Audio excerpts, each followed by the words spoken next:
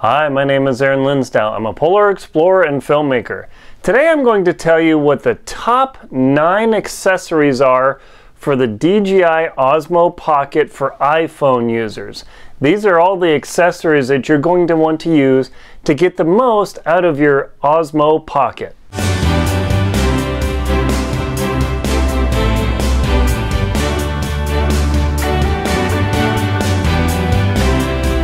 You wouldn't mind, just scroll to the bottom and leave me a comment as you're going along and watching this video and let me know if there's some other thing that I'd like to cover or get some aspect. I would love to read your comments and see what your kind of feedback is. The DJI Osmo Pocket, this is one of the coolest cameras to come on the market. I wouldn't say ever, but I mean, it's, it's a real game changer and gives you lots of different capabilities. I've already done a general overview of this camera. Check out the link below. I'll uh, put the link right there so you can go check out the review. But this Osmo Pocket has a gimbal head that has really, really capable, and it's definitely changed my filming. If I were just going to go walk straight and do a few things, I might actually use the GoPro Black, but this is a super capable camera because it can do panning time lapse with multiple point access. It's totally incredible.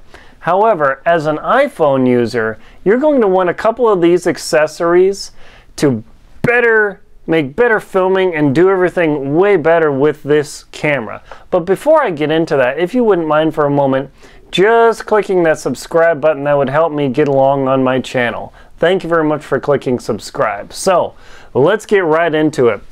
The DJI Osmo Pocket is an incredible camera, but you need a couple things to make this happen because really the form factor is awkward. All right, let's just get past that right now. It is awesome for hand holding.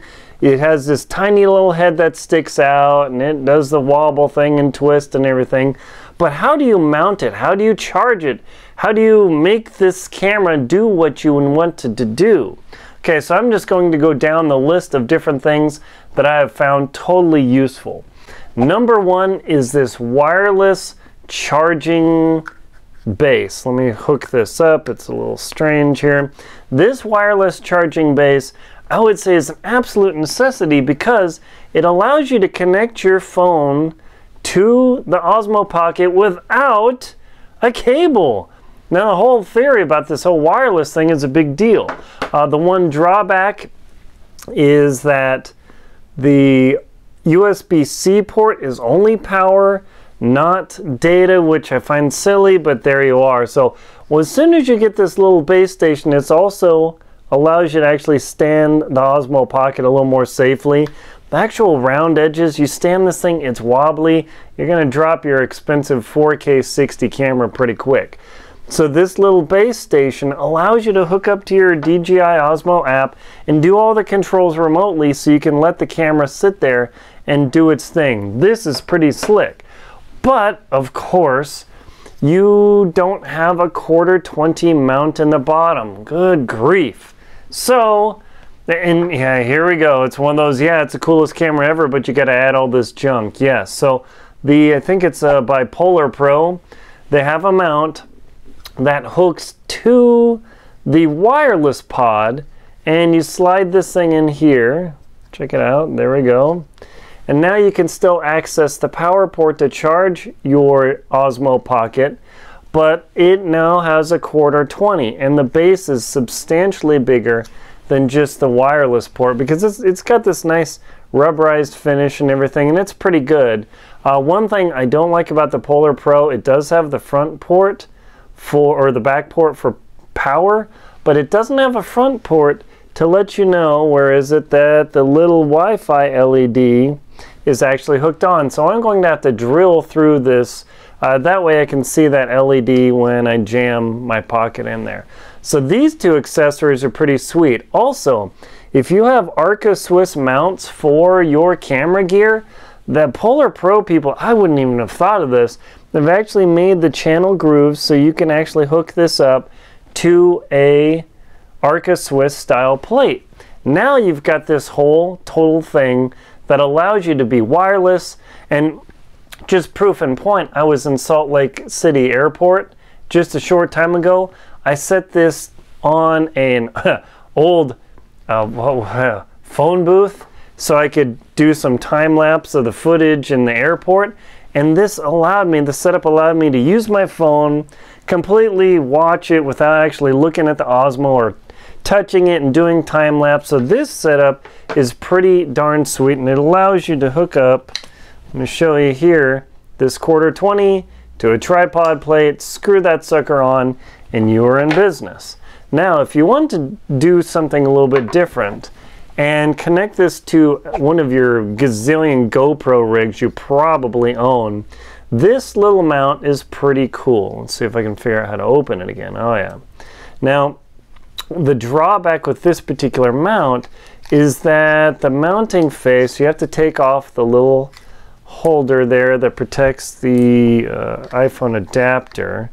But once you hook this in and you close it up here, latch it closed, you can now hook this up to any GoPro type equipment. Now, that said, this is again an awkward design, but I do see some pretty slick capability with this mount is because if you do the chest mount, the screen's facing away from you. You have no idea where you're looking. And as far as the selfie stick setup goes, it, it's not the best. There's definitely some awkwardness in this design, and that's just kind of the way it works. So it, it, does give you the ability to use GoPro mounts. You can use it in a flashlight mode. That is a viable alternative. It allows for access to the controls.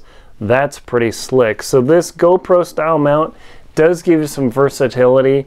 I would say it's probably the least used of the items that I have for my Osmo Pocket, but thus far, it has me allowed me to mount to my GoPro and I could stick it on wherever and do all sorts of cool stuff where I'll shut the uh, pocket off and it'll turn. But I can actually put this into flashlight mode, turn it around and still rotate and do its thing. So that is pretty handy if you're heavily investing GoPro gear. Now, the next thing, hopefully I don't drop this thing, is the other style tripod mount from Polar Pro. Now I'm I'm not supported or sponsored by DJI or Osmo or Polar Pro or anybody. But if you look at this mount, one of the problems with the the tripod mount I was just showing you, where is it? Oh, it's right here, is when you hook this up, it is wobbly because it is very tall. So if it's really windy, even on a tripod, this mount isn't ultra, ultra secure. So if you need to do something in a higher vibration or wind environment, this Polar Pro mount is actually really slick. You'll see the lock back there. Boom, yes. Now it has a quarter 20 mount here, very handy, but you lose your wireless capability, so that is a trade. But they do have a quarter 20 mount on the side, so you can actually mount your pocket like this, rotate it so we can do pan ups and downs of a time lapse. So if you're in a very windy or shaky environment where you might have to be worried about this unit being mounted standing up, instead, let me put this plate back in. Always important, don't lose this.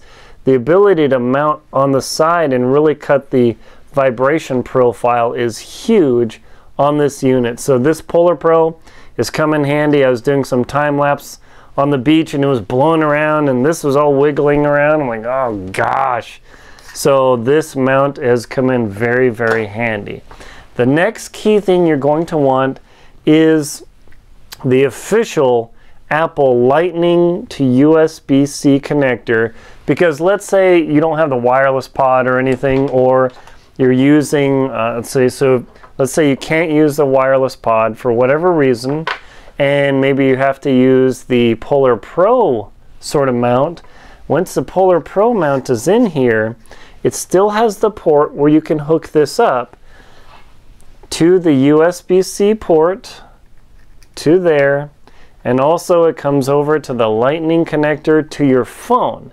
So even though you don't have wireless capability at the moment, you can actually click this into your phone and now you can, granted though it's wired, you're not actually mounting the pocket to the phone because that's one of the things that the Osmo Pocket really sells is, oh, the ability to hook up to your phone on the side. I don't like that at all, simply because you have to mount the pocket to the side of your phone.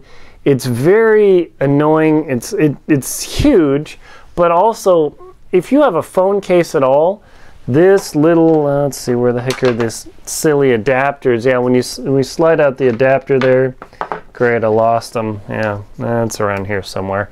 Oh yeah, here it is. Uh, these adapters don't fit on. Uh, sorry, on iPhone cases at all. So you have to take your freaking phone out of the iPhone case in order to mount up their setup.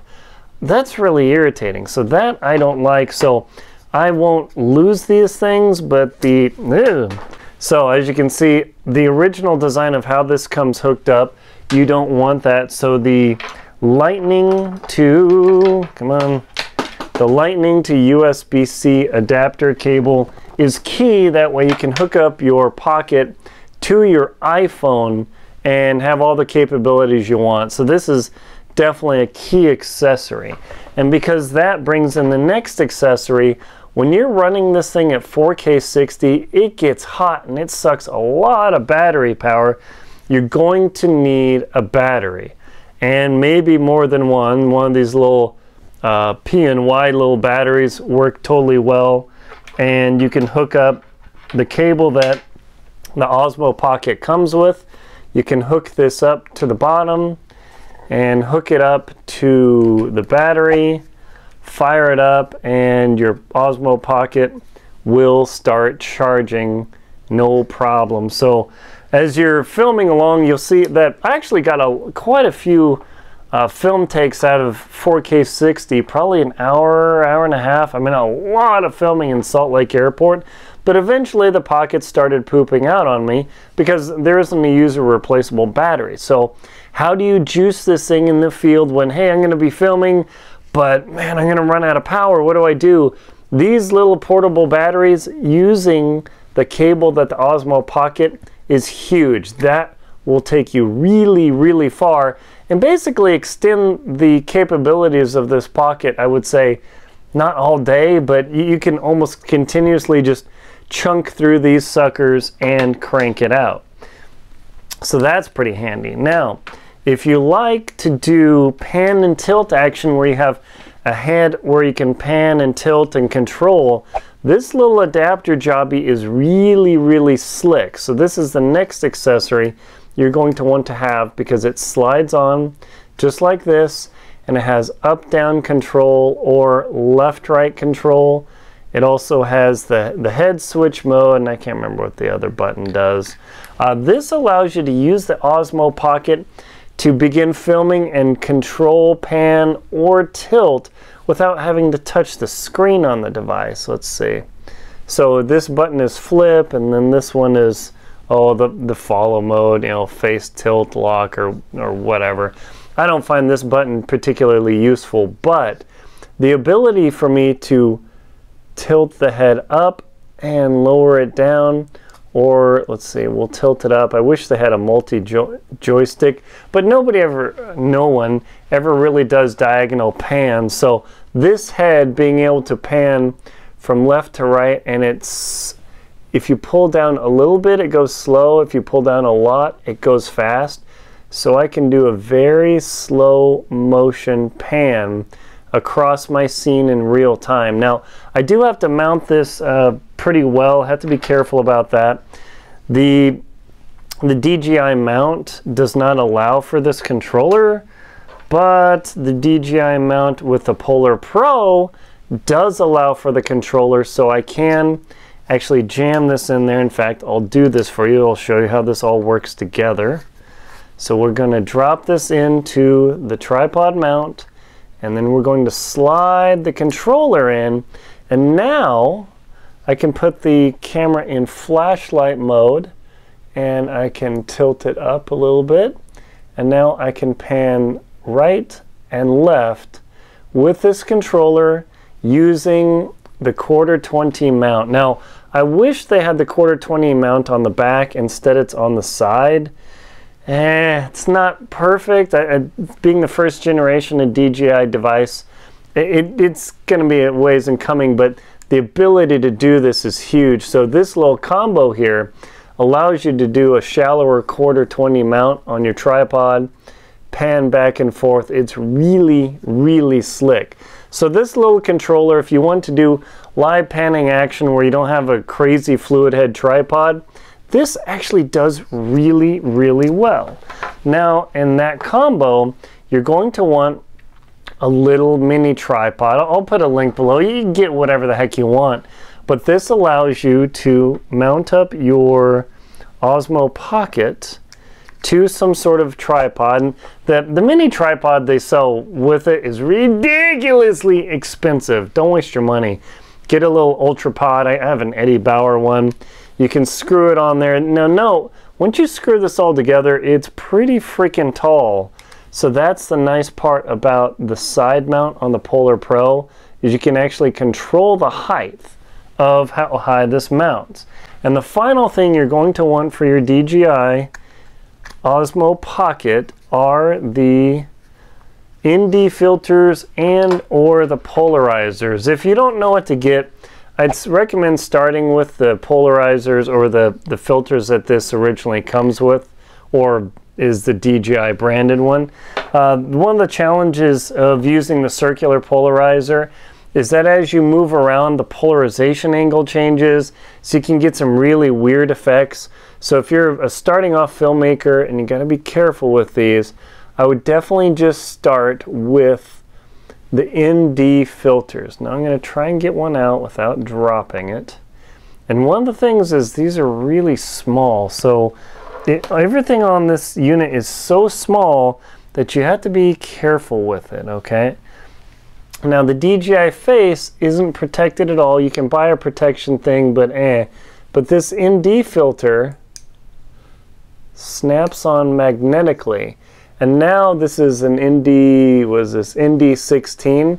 Because one of the things about filming is you want to film at the shutter speed is double the frame rate. So if you're shooting at 30 frames a second, you're going to need to shoot at 1 60th of a second to get natural blur. If you want that real hard staccato action, forget the ND filters, but if you want some nice blur that looks normal, blur is actually a good looking thing in film, and especially on uh, 24 frames a second. I know it's a thing, but these ND filters on here are really good and necessary for you to have.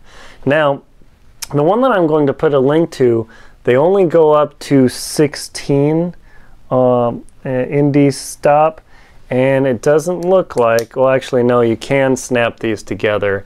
So you can put an ND4 and ND8 or something to get as much darkness out of you want. Now the problem is that once you put these filters on here, they're really heavy on the head. Let's see how it handles it. There we go. So now the head can move around. It's pretty stable.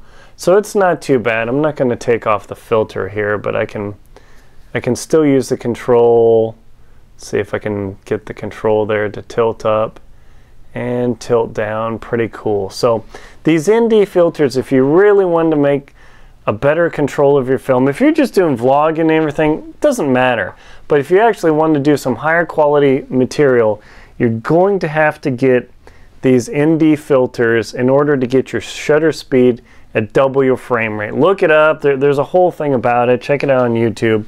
I'm not going to go into that simply because that's a whole other video. So these are the nine accessories you're going to need to get the most out of your DJI Osmo Pocket. I know it sounds pretty crazy. Nine accessories? Yeah. This by itself is really, really incredible. But to expand everything to what you need, the, the tripod mounts, the wireless pod, the pod mount for that, the cable for your iPhone. This is all about iPhone here. Getting some sort of tripod mount so you can mount this to a different stand. Uh, getting the batteries, that's a huge thing there. The Polar Pro mount to change your capabilities of how you mount this on the tripod. Again, the little controller so you can do panning and tilting to make a professional look and these ND filters, all these different accessories will really up your game with your new Osmo Pocket. It does take some time to learn, but I can't recommend it enough. I hope you've found this film very helpful and gives you a lot of information on what you'll need to really expand your capabilities once you get this pocket. My name is Aaron Linsdau. I'm a polar explorer and filmmaker. Please like, comment, and subscribe to my channel. I really appreciate the subscriptions and everybody following me. Also, please support me on Venmo, PayPal, and Patreon. Thank you very much for watching.